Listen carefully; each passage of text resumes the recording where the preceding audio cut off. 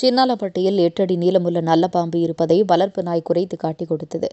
திண்டுக்கல் மாவட்டம் சின்னாலப்பட்டியில் கஸ்தூரிபா மருத்துவமனை அமைந்துள்ளது. இங்கு மருத்துவர்கள் குடியிருப்பில் வளர்ப்பு நாய் ஒன்று குறைத்து கொண்டே இருந்தது.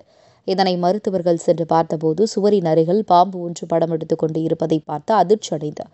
ஆத்தூர் தீயணைப்பு துறையினருக்கு தகவல் கொடுத்தனர்.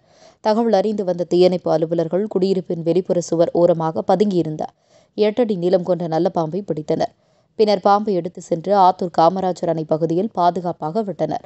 மருத்துவர்கள் தங்கியிருக்கும் குடியிருப்பு வளாகத்திற்குள் கொடிய விஷமுள்ள நல்ல பாம்பு நடமாட்டம் இருந்தது.